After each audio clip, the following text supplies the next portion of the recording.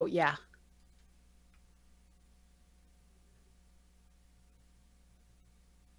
We should be live.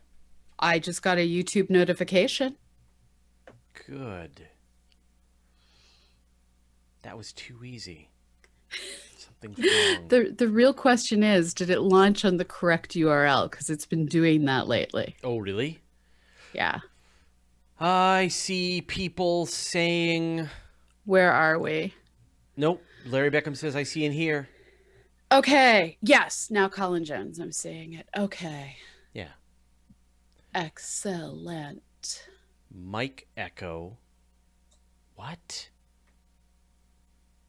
Is anyone else getting a Mike Echo? Hopefully you just have it open in two windows. Yeah. Your own personal echo. Uh, so how'd it go?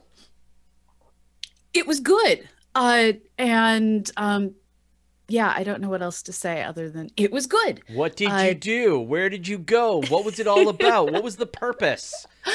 I Oh, come went- on. I went to Amsterdam in the European Union Okay. to attend the European Where? Testing Conference. What? Yeah, European Testing Conference. Okay, good. And uh, I also did a meetup to which only one person arrived, but that was a very special person, and we had great fun exploring the city. Um, That's awesome. and and um, I gave a talk on how it is we test software, where part of our algorithm is insert human beings, and uh, so I talked about all of the ways that we test to make sure that our citizen science data is as valid and awesome as possible. I'm going to say hi to a bunch of people. You had your chance. Here it comes. Uh, Abraham Cottrell, Arnold Post, Astro B, Bill K, Brooke Mulligetta, Carolyn B, Coalfire, Colin Jones, DKTAZ00, Dusty Reichwin, Guy Saud, Gordon Dewis, Graham Walbridge, Guido Bibra, Harry M, Henrik Bo Anderson, Janelle Duncan, John Seffield, John Victor, K Spence 303, Quad Libet, Magnus Thamer, Jensen, Mark Wintle, Michael Jobin, Mr. Tom Harbin, Nancy Graziano, No Ruppenthal, Paranor 001, Patrick Festa, Peter Quinn, a lot of people today. Peter Wyouf, Poison Toad, Rinstro, Rabbit Holer, Richie Selfridge, Tack Tang, Tom Van Scotter, Uncle Bill Druin, and Zap Fat Zap. Hey, everybody. Welcome I love that we have a poison toad listening. So, did you see what happened with the latest SpaceX launch at the beginning of their constellation? I I I have been in paperwork Hmm. chaos. I want to know all the things. Did Well- Mr. Steven catch the no, fairing? Mr. Steven did not catch the fairing. Mr. Steven tried and was within a few hundred meters, but the fairing seemed to land okay and was floating nicely like a boat on the Okay. ocean. Only half of it though. And so they're going to recover it and I guess wash the salt out and see if it can be used for other things. Yeah. Again, I wonder where the other half went. I don't know exactly what that was about. Um, but I guess Mr. Steven only had net for one fairing. So, because I mean, once it scoops up that fairing, then I mean, I don't know whether they're going to they're going to drag Yeah. it back. They tried to catch it. Now I think they're going to drag it back. I wonder if they need to have two boats to catch both halves of the fairing. I would assume so, right? Because it's not like you Yeah. you catch one half and then you transfer it to your barge. Like it's it's a big deal, right? Yeah. So, but because the launch was on a very high sort of velocity trajectory, they weren't able to recover the first stage booster. So, Okay. yeah, but it, it was also highly visible to good chunks. Uh, Scott Manley posted a video this morning showing it from San Francisco, which was Yeah. I Really saw that. That was awesome. yeah. So uh, you could see these rockets, and so for the you know for the folks on the East Coast who are in Florida and can watch a rocket launch, fine, you know, rub it in. But for the folks on the West Coast, now that SpaceX is using Vandenberg more often, go get reasonably close to the launch facility, go to the beach, places like that, and watch a rocket launch. Super fun. It's There you go. Graham Walbridge says both fairings recovered and back in port. So, right on. But not in the net, yeah. All right. we are going to do an episode. If you're wondering what it is that you have stumbled into, we're going to do an episode of Astronomy Cast. We're going to take roughly 30 minutes, depending on my whim, uh, to do an episode, and then we will stick around and answer your questions about space and astronomy. Only the tough questions, though, so save up the real zingers, because that's You don't like me anymore. that's what that you are sharpened into a pencil of science and hard questions are the way this happens. So okay. I'm sorry. It's all right, and you're not. If you want to ask them in Russian, that it would be even better. She can handle that. All right. Пожалуйста, нет. I don't. I don't know. I don't have. Any, I, I have no idea what you just said. Okay. I heard yet though. That means no, right? Yeah. All right. Here we go. Hi, Chad. Hello, Chad. Astronomy Cast, episode 480 Multi Stage Rockets. Welcome to Astronomy Cast, our weekly facts based journey through the cosmos, where we help you understand not only what we know, but how we know what we know. My name is Fraser Cain. I'm the publisher of Universe Today. With me, as always, is Dr. Pamela Gay, the Director of Technology and Citizen Science at the Astronomical Society of the Pacific and the Director of CosmoQuest. Hey, Pamela, how you doing? I'm doing well. How are you doing, Fraser? Welcome back from Thank your you. trip. And welcome back from yours. Yes, Iceland. That was awesome. Super fun. So, um, before we get on to this week's show, I just want to thank the folks at Sumo for sending me a awesome beanbag chair. I. it's not an ad, but they sent me one, so I got a free thing. But it is like this gigantic, easy chair, but a made of beanbag, like a beanbag cylinder. And what it's going to be great for is actually setting it out on the yard in the summertime with my binoculars and watching the night sky because you can sort of lean back at different angles and rest yourself in the beanbag and look at the sky. So this is its this will be its purpose. And so thanks to Sumo, I actually tried one out back at PAX many years ago and they're pretty great and I do like these chairs. So when they said, "Hey, we can send you one." I I couldn't I couldn't resist. Uh, and also thanks to people who've been sending me video games. I got a That's I- awesome. I, got a copy of Stellaris's new Apocalypse expansion, which was which was awesome. So, yeah, it's really hard to to walk that line between uh, getting free stuff and maintaining your journalistic integrity. So, you know, fair disclosure involved. He says, Yes. sit, sitting in front of the uh, telescope that OPT sent us. All right, let's move on to this week's show. The vast majority of rockets are multi-staged affairs. Why is this? What makes this kind of rocket so successful? Today we look at the ins and outs of multi-stage rockets. We were talking about this before the show. We kind of did this backwards. That the multi-stage is the classic rocket that everyone is familiar with. These these single stage rockets are the more advanced, more technologically complicated, more brute force what so why why did we not do this in the other way i don't know it's fine Well, I can tell you why. Yeah? Because I was going in numerical order. one many Yes. Right. that's Yes. done answered That's that's it.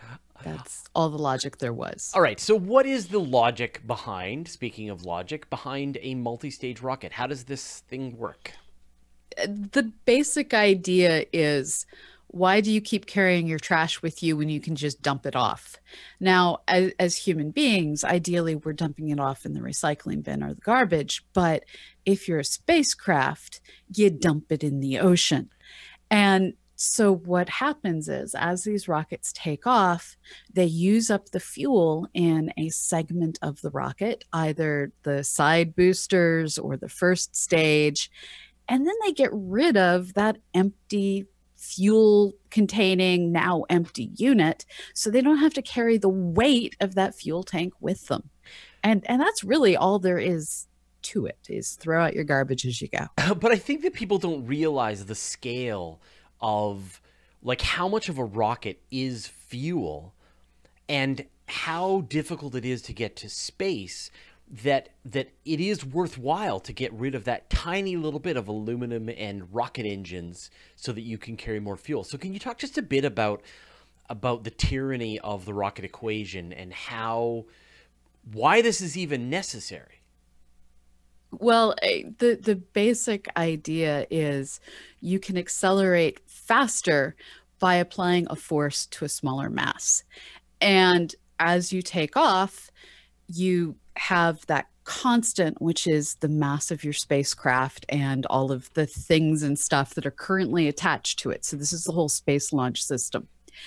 And and then you also have the mass of the fuel. And as the mass of the fuel decreases, the mass of the spacecraft doesn't unless you drop bits. And the more mass there is, the harder it is to accelerate it. And and so you just drop stuff. It's just force equals mass times acceleration. Uh, you want to accelerate more, you hold your force constant and reduce your mass. Right. And I guess the but the but that point, like like 99% of a rocket is the fuel. It's a big can of fuel. Like when you see yes. a rocket on the launch pad, it is just this gigantic tube. Or three cans if you're the space shuttle. Or, or three cans or three cans stock, stacked on top of each other. But in general, it is a, you know, it is cans of fuel with tiny little payloads payloads atop of it. And I think that's the part that that blows me away, pun intended, is is how much of a difference staging rockets versus single stage is in the amount of of launch capacity of, of, of payload that you can get to orbit. And one of the things that we talked about last week is there really isn't a successful way to launch a human carrying or ISS restocking amount of mass into space without using multi stages at this point. Now, when we say multi stages, we're referring to actually two totally different kinds of systems. We have the serial or tandem launch, which is where you have like the old Saturn V's, one stage stacked on top of another. The Saturn V's were actually three separate stages. Then the other kind of system we have is the parallel staging, which is what the space shuttle was, what we saw with the Falcon Heavy. Uh, Falcon Heavy was actually a complicated mixed mode launch but uh, what we see with the space uh, space shuttle was its full launch system was those two solid rocket boosters that fired in parallel with the main engines on the space shuttle, which were drawing all of their fuel from that external tank. Yeah, and uh, I think the space shuttle is a great example of a fairly complicated array. You've got that space shuttle, that main fuel tank which is liquid hydrogen and oxygen, with the orbiter bolted on the side with its with its RS-25 engines providing some of the the power, and then you've got those two gigantic solid rocket boosters. And the thing with solid rocket boosters is once you turn those things on, you can't turn them off again. Right. And this is this is one of the extreme concerns for safety for a lot of these systems. And this is where we're starting to see interesting things going on with some of the new designs that some of the companies are coming up with. While Space Launch Systems is continuing to have that solid rocket boosters mounted onto the liquid core, we're starting to see, well, the the Falcon 9, this is stacked liquid fuel. And as we look at the Falcon Heavy, we're, we're now looking at essentially a central core that has two Falcon 9s mounted on the sides. And um, it's just going to get crazier from there. Right, right, exactly. Now, the, what is the downside? I mean, if the upside is that you can essentially use this staging system to, you know, as the cans of fuel are emptied out, you throw the cans away decreasing the amount of, of mass that you have to carry to space, continue, continue. What is the downside of going this this way? Well, I mean, the biggest downside is you now have many more points of failure. With with a single stage, you're relying on one set of engines, you're relying on one set of electronics. You aren't worried about the explosives that separate the stages failing. You're not worried about uh, just all of the different pieces that can stop working. And this is something that I think every space loving little kid learns when they start launching model rockets. An Estes rocket will teach you this in detail. You can run into problems where your first stage doesn't separate correctly, and now you're carrying around um, basically a bomb that's trying to fire while blocked. Now, luckily, that's not a thing that seems to happen in the real world. It only happens to people like me as small children. Uh, but but you have all these different points of failure, and with staged rockets, another one of the real frustrations that we brought up last week is they do have to drop these earlier components. So we see with the the Falcon 9s and the Falcon Heavy now that those first stages are currently returning to nice friendly landing sites and happily landing upright in this amazing synchronized routine. But we still don't trust that this is going to happen consistently. And if they missed and landed on a suburb, that would be bad. And so currently for most of our normal low earth orbit launches uh, many of our different geosynchronous orbits we want to launch from the east coast so that we can take advantage of the rate of rotation of the planet launch out towards europe and then make sure that our early stages uh, either land on a barge, land on the coast with nothing between them and the ocean to crash onto. Right. Uh, yeah, it, garbage collection. It's a problem. Don't throw garbage at other people. And, well, and we mentioned yeah. this. We mentioned this last week. I maybe that the Chinese um, rockets because they don't have a lot of space in place and they don't have a a eastern or sorry a uh, you know a yeah, we're trying to think here. But they well, they, they have an East Coast. They, it just has Japan off of it. Right, right, right. But the point being that that it's that they're they don't have a lot of space and they're launching their rockets in over populated areas and these boosters are coming down in forests and and things like that but uh, you know anyone you know you talked about that sort of the, a lot of moving parts i mean anyone who's played the kerbal space program i defy you the first time you play that game to get the staging right that what you're going to do is you're going to put you're going to stack up all your rockets on your first multi-stage affair and you're going to mess up the staging because it is it's like a kind of programming. And so your rocket's going to take off and then the whole thing's just going to come apart or the middle stages are going to go off or the stages are going to fail and you have no way to make it go. So so i think you know people have done model rocketry but now kerbal space program lets you experience this very quickly that staging yes. is, a, is a very, very uh, complicated affair. Um, let's talk about some of you know we talked briefly about the saturn sorry you talked about the saturn we talked about the space shuttle what are some different configurations that we can see these staging arrangements happen in well, one of the the big ones that many of us are eagerly waiting for the next launch of is the Delta IV Heavy. This is uh, one of the most used primary rocket situations. The Delta, it's it's uh, it just goes kind of trustworthy system, and the Falcon 4 Heavy. Uh, it's it's been kind of sort of in use since 2004 by which i mean uh, there was like a partial failure early on but since then, it's been used to do things like uh, an uncrewed test flight of the Orion multipurpose crew vehicle. Uh, we are waiting for it to launch the Parker Solar Probe. And this is another one of those systems that has that multi stage central core. And then it has the side boosters attached. And so we have this combination of parallel and tandem where you have the central core with multiple stages and then you have these side boosters as well. Um, and let's go back to sort of like one of the most famous ones, of course, which is the Saturn V. How did that one operate? So the Saturn V was a series of series stages. There was three different stages that each got to a different part in the trajectory. And it was from the Saturns that we actually learned one of the big problems that you have with these multi stage rockets is they leave junk everywhere. Now, that first stage, it's coming back down.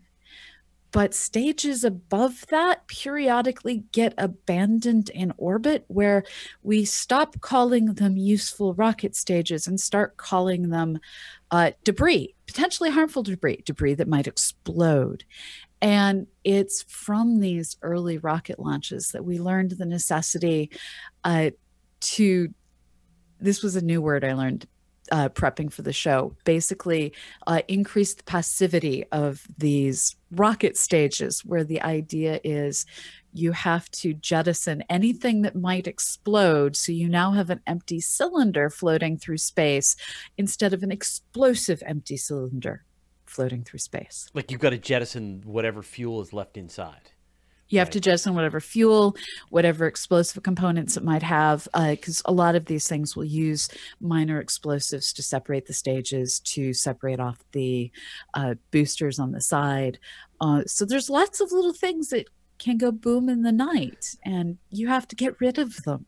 Throw out your explosives, people. Throw out your explosives. But when you really think about the Saturn V and the trips to the Apollo, like the whole Apollo mission, they were more than a three stage rocket. I mean, when you think about, right, there was the three stages just to get the the main part of the spacecraft into space, but then you had to go out to the lunar, you had to get to the lunar orbit, and then you had to land on the moon, and then you had to come back, and then you had to boost from the moon back to Earth, et cetera, et cetera, et cetera. Someone and- did a calculation. There was like, I, I feel like it was Amy. Anyway, uh, there was a, and I believe the technical number was a bajillion rocket nozzles used on that mission when you added yeah. up all of the attitude stuff and all of the booster rockets and all of that. Like it just went on and on and on. And and this is where you start separating the what are stages from what is you have liberated your internal spaceship to go do its own thing we we recently saw with SpaceX a gorgeous demonstration of this when they launched their Tesla. I'm not going to go into the politics and the morality of launching a Tesla. I am going to say this was an excellent uh, production that explains all the different parts because we did see those first stages for the side boosters come down and land. We did see the central core uh, not land. Uh, and then we saw that second stage that continued to push it higher and higher and higher. And then we saw the fairing separation. And it's in that fairing separation that the cargo is set free. And that cargo is separate from the Space Launch System.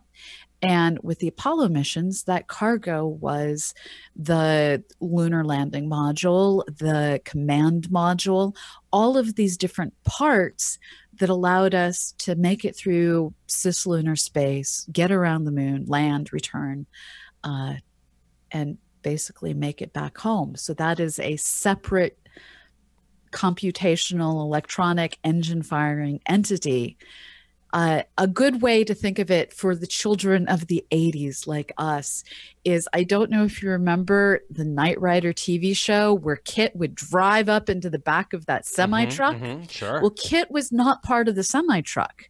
So you can think of the semi truck as the rocket that's carrying around the cargo that also has its own capacity to, in this case, uh, drive, or if you happen to be uh, the Apollo modules, to fly. So let's talk about, uh, you know, some of the interesting multi-staged affairs that are coming up shortly, and I think the one that we should definitely talk about is the BFR, the the big, fantastic, fabulous, fab, fabulous rocket coming from SpaceX how i mean that's a multi-staged affair. How is that going to work compared to say something like the space launch system coming from nasa? So so with with bfr what we start to worry about is uh, details of just how do they get all of the parts to fire simultaneously. With with the space launch systems, it's that tried and true central core, two side boosters, central core, two side boosters. We did that with the Delta. We did that with the space shuttle. We've seen with the Falcon Heavy different fuel components. It's no longer the solid rocket and liquid core. Uh, but but this is something we know how to do uh, I'm trying to pull up the latest development pictures of the the BFR because it it's supposed to have a lot more than two side boosters if I remember things. Well, no, correctly. I mean the BFR. Well, the BFR's got the is is essentially a two stage rocket, right? Okay. So the bottom stage, the booster, the BFB, the big fabulous booster, is going to be very similar to the existing SpaceX first stage, right? That it's going to be this but it's going to have a ludicrous number of these brand new Raptor engines that that SpaceX is working on. I believe it's in the 30s. I mean, there was 39. I forget the exact number it's right now. 31. 31. I've, I've now, okay. Yes. All right. So, so that, I misremembered it. You're you're right. It wasn't side boosters. It was central right, engines. Right. And then you have the top portion, which is the BFS, the big fantastic spaceship, and that is going to have as well its own engines and be able to uh, be able to fly. And so you're going to stack the BFS on top of the BFB. That whole stack is going to fly to space, and then both are going to be fully reusable. So the BFB is going to just return to roughly the launch site in the same way that the uh, the way that the Falcon 9 boosters do, and then the the top part, the BFS, is going to deliver the cargo to space, do what it needs to do, and then do the do the same thing and return to return to Earth and land near the launch facility.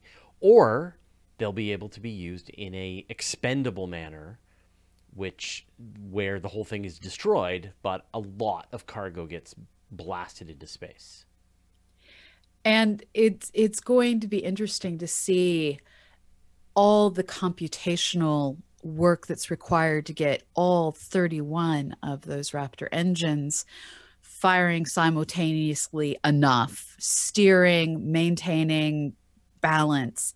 And, and this is where a lot of these systems start to cause heart palpitations is if you don't have simultaneous firing of all of these things, it's sort of like uh, jumping with your right foot before your left, you're probably going to fall over sideways. The, well, the, the Soviets learned this horrible mistake with their N1 rocket when they were trying to do their own trip to the moon. It was, well, the Saturn V was this stack of a fairly small number of engines. The the N1 was a gigantic number of of engines, and and this was before fancy computers, and they couldn't get the timing right, and these things just kept detonating. The Falcon Heavy had twenty seven engines, right? Yes. Three times nine. No, wait. Yes, twenty seven.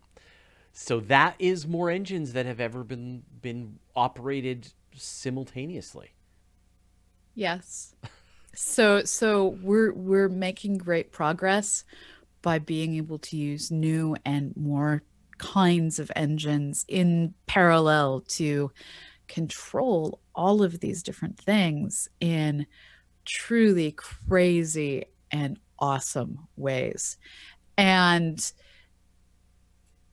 I, I can't wait to see what comes out of all of these different plans there's we we had the original idea coming out of SpaceX for their ITS launch vehicle, which was another one of these ludicrous vehicles, their uh, interplanetary transport system that was going to be able to launch to low Earth orbit 550 tons. And we haven't been able to imagine this kind yeah. of of mass in my entire life. And now we're like yeah why not? Let's just like launch instead of building a super lightweight james webb let's just like build a new version of the vlt and just make make some minor adjustments and we're good. Uh, this is a new way of thinking. So if stage rockets are the way and you know ideally reusable why what are the limits to this? Why aren't there 10 stage rockets? It really starts to come down to then you're adding weight with all of the control systems on each stage. So you have to find this magical balance, and it's not magical. You have to find this computational convergence of your equations balance, which feels like magic, uh, between each stage has electronics, has engines, has all the bits and pieces that allow them to separate, and all that mass adds up. and then you are losing that mass, but the first stage still has to launch the six stages above it and all of their engines. And there's trade offs on how many stages do you want to use so that you can drop the appropriate amount of garbage? And how fast does the weight from each of those stages add up limiting your ability to launch more effectively? And it, and it is that as you said you know it's the weight of the nozzles the weight of the electronics that really decide whether you're going to because i guess in a perfect world if the if all of that stuff weighed almost nothing although the tank part weighed a lot then you yes. would make more stages and you would just slough them off as quickly as you could and then you would in the end have you know the sort of the perfect rocket equation and this is one of those things that you see in model rocketry where people do launch eight stage, 12 stage, insane rockets.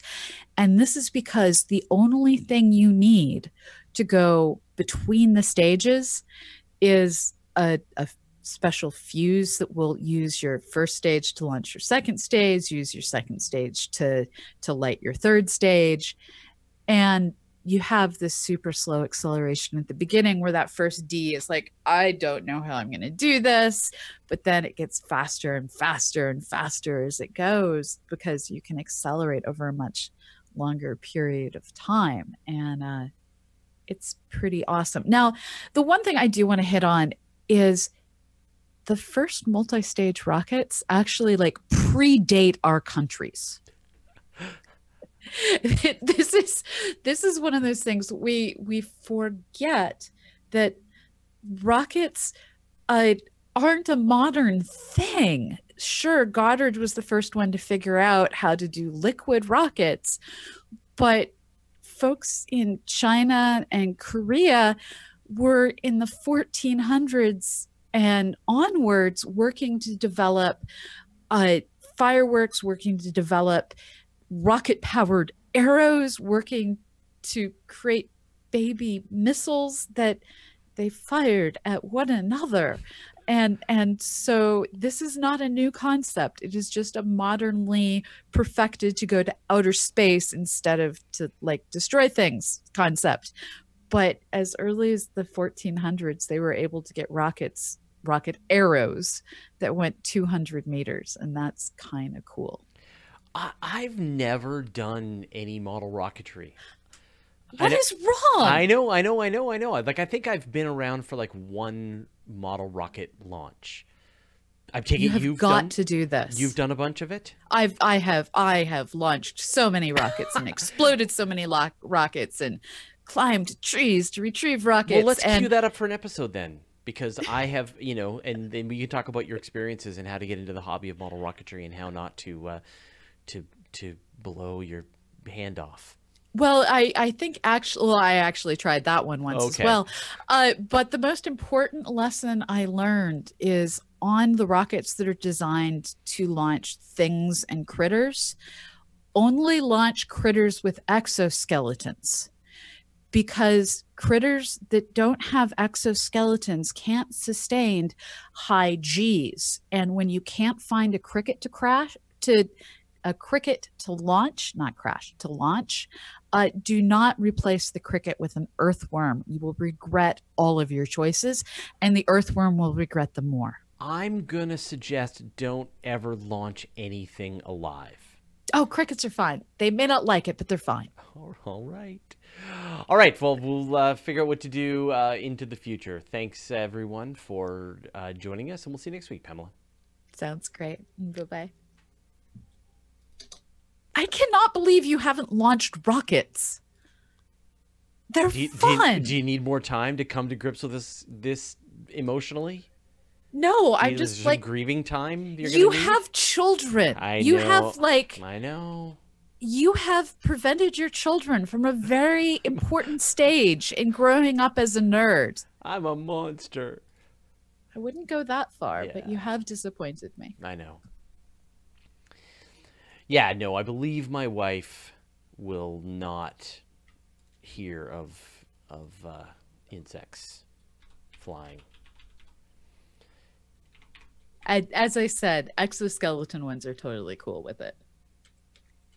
even mm. if like your parachute Yeah. doesn't deploy, they're fine. Arjun says, "Cricket, send your emails to Pamela Gay." I think that's fine. I, I, when you're brought up on a tribunal, just remember, I was, I for one, welcome our sup- welcome our super cricket overlords. It was Pamela who sent you to space. All right, there was a bunch of questions that came in. Let's uh, let's dig through them. Have to launch rockets. You live on an island. I live on a very flammable island. Is part of the problem. Go to the beach. Yeah. Arjun wants to know how do they handle the liquid fuel that's going to be bouncing around during launch? It's so pressurized. There's no bouncing occurring. No sloshing. No, no. It's just sort of like atoms can't move. We're kind of well, I mean they can the atoms can move, but there's no gaps, there's no slashing. It's just it is what it is. It's it's like when you take a, a water bottle and you fill it to the absolute top so that as you spin on the lid, water comes out and there's no air inside and you can rotate it and and you don't really see anything changing. Now try this with a couple drops of ink and you'll see how little that ink moves as uh, you move the container around. Uh, Nicole Angelo Mendoza really, really, really wants you to say hi. Hi. She's in the Philippines, so uh, it's four thirty. I love a.m. I love that part of the world. I haven't been to the Philippines yet, but I've been to Indonesia and you guys have like the most amazing geography and I have friends from the International Year of Astronomy from the Philippines who just like totally rocked it. It was cool. Um, more questions. More questions. Let's see. All right, here's a good one. Litho break. Is NASA's plan to stop funding the ISS their choice or the result of U.S. politics? I'd like to see a new station and possibly more so, but want to see the fireball of the ISS deorbiting. So, so, I, are you familiar with the news? 2025. Yeah, I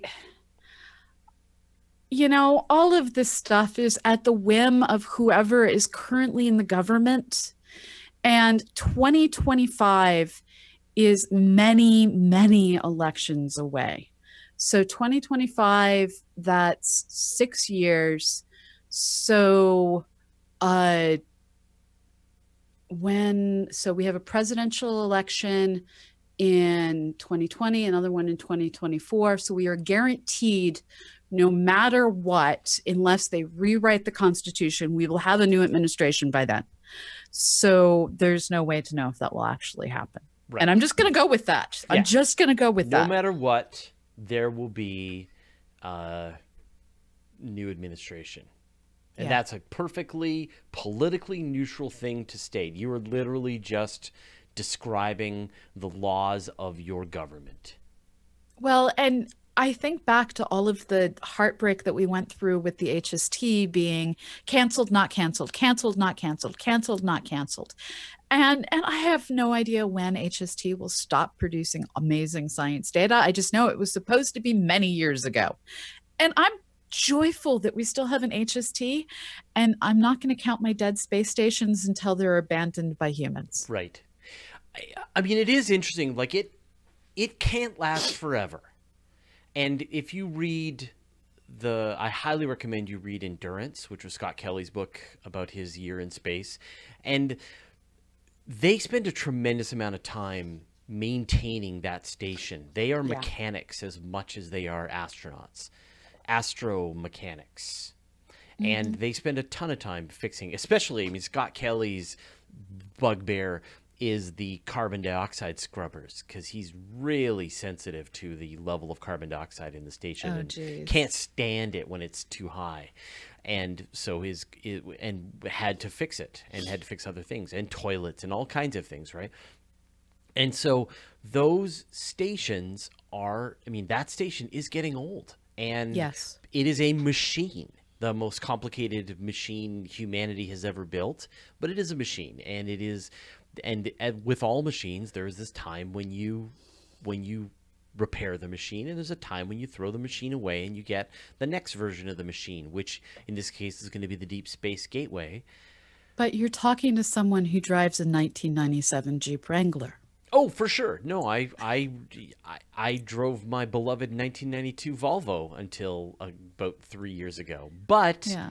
I did replace it for a 2010 Honda Civic. Like at a certain point, I don't, I'm not sure how are you going to drive that Wrangler forever. At some point, you're going to sell it, right? At some You're gonna point, it will it. be. I at some point it will no longer be able to be repaired, and I will donate it to the local NPR station.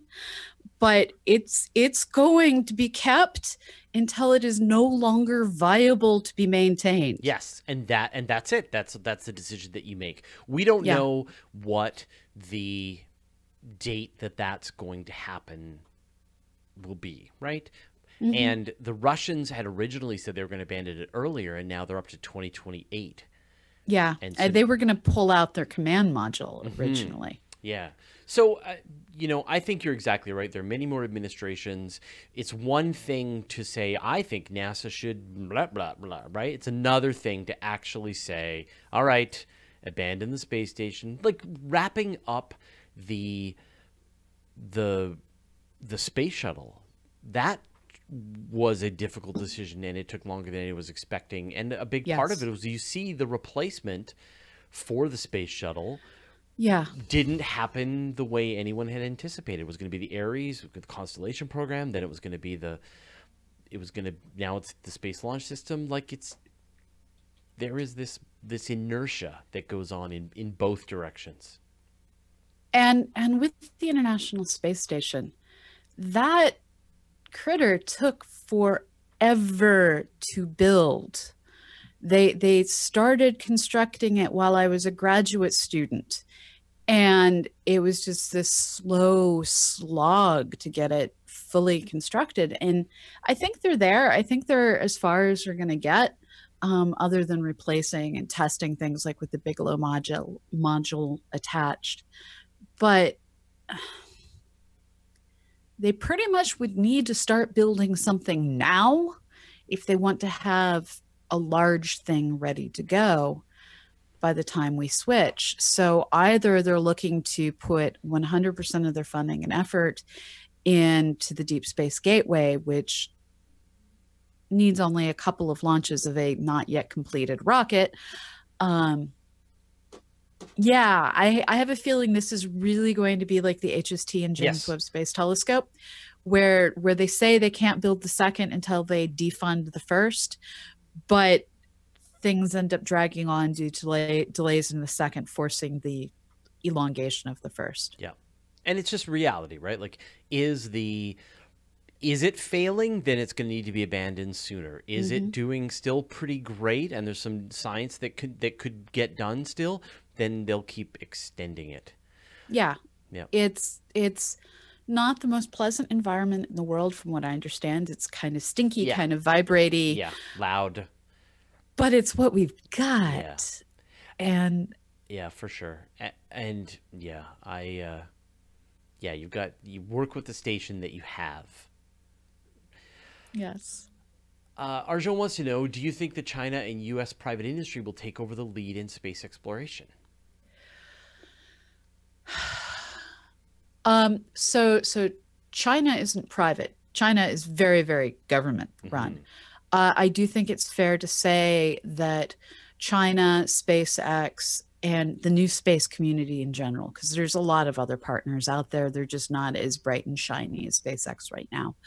I I do think that a lot of these new space private companies, as well as China and India, are going to be the ones who are doing a lot of pushing the boundaries because the the funding, the human resources, the drive is easier to maintain continuity on. Yeah. Uh, SpaceX is up to, I think they're going to launch 50% more rockets this year than they did last year. The Chinese are catching up quickly. Uh, there's some interesting charts that you can see, but still, at the end of the day, the the United States has the lion's share of launch capacity and you know probably will for a while. And and this is because we do have such a large backlog of the smaller older rockets. The Delta series, the Atlas series, all of these are amazing and they they're just workhorses. Mm-hmm. It's the new super fail. heavy stuff. Right. Right. And uh it's going to be interesting to see what happens as we start to wind down on the number of warehoused rockets and components and try and transition to new technologies. Yeah. Um, God, Gareth Wilton wants to know what are the advantages of a human space program? We're really we have thumbs. That's um, it. well, take that yes, robot. Yes, it is. So I mean, it's not just the fact that we have thumbs; it's also the fact that we can totally innovate on the fly to figure things out better than our current robots can. So human beings really have the advantage when it comes to on the fly standing there and figuring out which rock to pick up instead of having to wait for the next downlink to the earth and the time travel for the signals and have people on earth say which rock to pick up uh, we are really good at figuring out how to break into the Hubble Space Telescope to replace components that were never meant to be replaced on orbit, uh, and how to fix things on the fly. And so it's that fix, repair, create auto mechanic in space aspect that really human beings still have nailed. We haven't figured out how to successfully build, launch, deploy, use on a regular basis little flying around rovers that can grab things, repair things, release things. It's been in the discussion since the early 80s. It's one of those things we want to build, mm-hmm. but we just haven't got there. But on the downside, we're made of meat. It's true. And and when you see, like, I don't know if you've seen that new robot that opened a door for its little buddy yes, robot, right? Yes. So Boston Dynamics yeah. is amazing. So, so I think that that the the that argument, I I I personally can't stand that argument that that that there's any valuable reason to have human beings doing scientific work in space. It's true we have thumbs, but we're made of meat, and the robots, you know, are going to have thumbs very soon. And that is and, I, and so I think if you if you plant your flag there and go as long as ro- as people are better than robots, then people are the right thing to use to explore space. That is an argument that you will eventually lose because there it's will come up a robot with like a thousand thumbs, right? Yes, and it's and you'd be like, and it will be built by Canada. sure, yeah, exactly, right? Um, eh, you know, so Boston Dynamics, the multi-thumbed explorer, and it's just going to be able to to open up anything that is required, pick up any rock, and and move it around. That we're, the, in my opinion, the reason human space exploration is important is because humans want to go to space. And the only way to figure out how to send humans to space is to send humans to space. That's and, it. and this this gets from the need to send humans to the want to send humans. And it's okay to want to send humans to space. The question was why do we need to send humans? And currently the answer is thumbs. And you're right that will become a deprecated argument. Yeah and then and then it's just you know how do you know how to have humans live in space until you send humans to space? And i think it makes it really simple because i, I feel like that was part of the problem with some of the other arguments in the past is is that as long as you keep saying you know we need to send humans because they're going to be much better you know it's better to have a geologist who's right there on the ground and can pick up a rock and know what it's looking at until a robot knows better and is able to oh, you know yeah. perform a thousand geological measurements per second better than the best geologist you've got. Like at a certain point as you know every single AI is developing really oh, yeah. fast. Yeah absolutely. So um, Abraham Cottrell notes that koalas have more thumbs and they aren't particularly useful. So there you go. Okay. More thumbs does not necessarily make for a better astronaut. A better Koala astronauts, koala knots. Anyway. Nancy says instead of the Canadarm, will be the Canada thumb. I saw that. That was excellent. Yeah, that's exactly right. Uh, before we go any further, go ahead. More questions. We've got like another eight minutes. It's your time. Use it up. But uh, I want to give a big, big shout out, as always, to our good friends at the Weekly Space Hangout crew. Yes. The WSH crew.space. They are the community people that are talking down here. They are the producers of the Weekly Space Hangout. They are the ones who organize all of our guests, and we couldn't do this show without them. So, if you want to be part of the conversation, if you're watching this live and you want to go to the take take this to the next level, join the Weekly Space Hangout crew. Go to wshcrew.space. You get access to the Slack community. I'm there. Pamela's there. All the Yep. people from the Weekly Space Hangout crew are there, and it's the party just continues. and and you get to find out about all the other stuff the two of us do because uh, we do a bunch of streaming on Twitch related to Cosmic Quest. Fraser has his video series. Uh, I also personally do some streaming. Fraser periodically plays video games online, and and the weekly Space Hangout crew. It's where we hang out as humans. Mhm. So come join us as humans. Yeah. And again, wshcrew.space. Come on, questions. Questions, questions, questions. Hit me. That's awesome. Slack Slack bot just hit us with the party. At potluck on Tuesday. Richard Drum would like to see a radio telescope in orbit around the moon. No gravity warp its dish, and no regolith to abrade the works, and obviously no radio signals to interrupt it. What do you think? Radio dish, a radio observatory we don't need one orbiting, the, moon.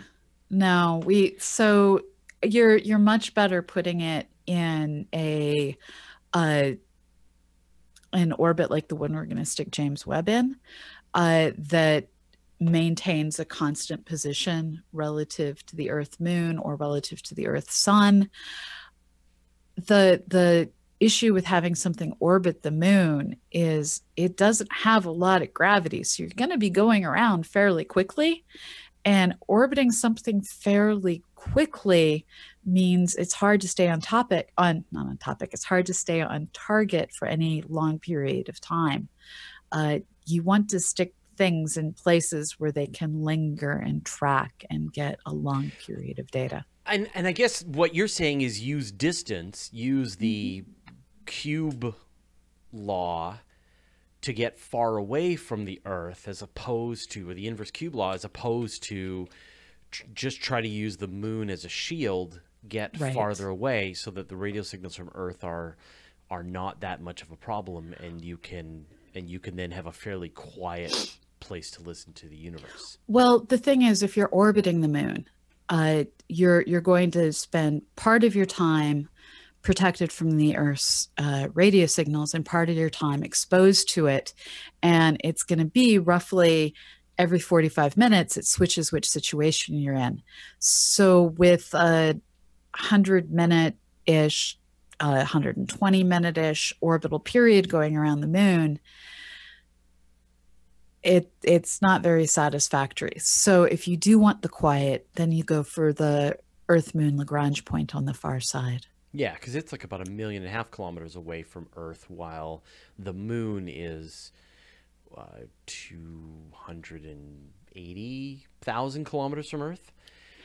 But but here you're running into the issue of you now need something uh actually what you need is a whole series of somethings that can send the signals from that radio dish back to earth as they look around the moon.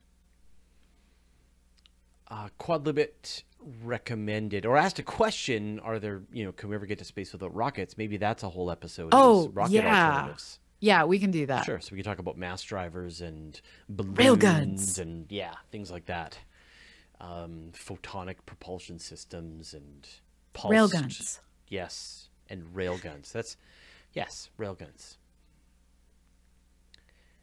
Uh, Ron Hook is saying I should try water rockets. I have done water rockets.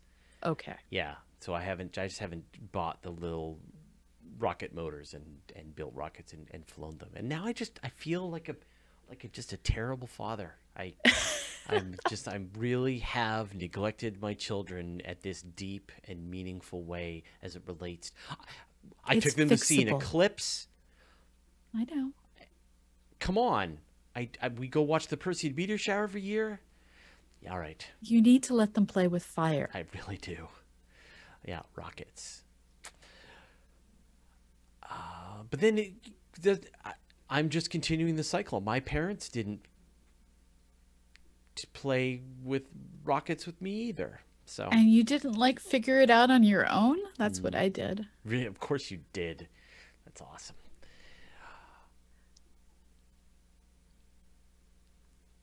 Um, Sorry, I'm just reading the comments. yeah.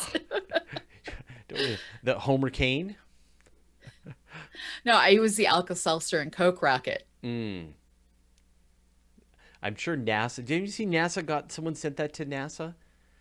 No. Um, someone sent NASA the you know the Diet Coke and Menthos Menthos and Yeah. yeah, and someone had sent that to sent the, you know it sort of. Oh great! It's already a meme. That's fine, but I want to see a robot with a thousand thumbs. Now that's a meme. That is awesome. Thank you, Tom. Please tweet that so I can retweet it. All right. Uh, Gowdy Sod asks, "How come we don't see real pictures of stuff in space? Only graphics." Well, Huh? I I did a whole video all about the real pictures of spacecraft taken Yeah. from space. It's like I go through dozens of examples of really cool pictures of spacecraft taken from space. But why Image in general Detective, we have a bunch in it. of spacecraft taken from space? Yeah, because it's the astronauts taking pictures of the things attached to the ISS, the things visiting the ISS. So go to cosmicquest.org and click on the picture of the planet Earth, and you'll periodically run across photos of spacecraft taken from Yeah. the My- ISS by the astronauts. My favorite is the Mars Reconnaissance Orbiter took pictures of the Curiosity spacecraft as it was landing. Yes. And you can see the parachute and the and the aeroshell, you know, and the and the and the sky crane underneath, and and you can see it sort of making its way down to the surface of Mars, which is Yes. which is awesome. I really like that. Uh, Gordon notes, now we know who the Alpha Geek is. Hint, it's not Fraser. I'm amazed that this was not clear. That by every concept, Pamela is by far the greater Alpha Geek than than I am. Uh, yeah, absolutely. We I don't even hold a candle to her level of geekitude. You hold a candle, One, but one tiny candle shining in the dark. Yeah, yeah. You are um, absolutely a legit um, space nerd. Everyone who's been to space camp, put up your hand.